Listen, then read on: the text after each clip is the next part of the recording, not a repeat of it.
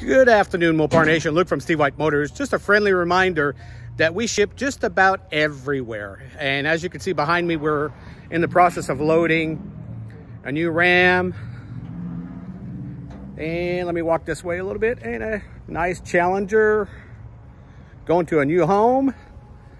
And of course, this is one of our rigs right here. I don't know if you can see it. I'm trying to do this walking funny way. Anyway, Luke from Steve White Motors. I'm trying to remind everybody that we are that little dealer in the foothills of the Appalachians that has never has any doc fees, no weird fees of any sort like some dealers do. Recently, I saw a dealer close to us that had $4,000 worth of doc fees, 1995 and doc fees. They had 995 accessory fees, and I don't remember the rest of it. It was just nuts. It's crazy.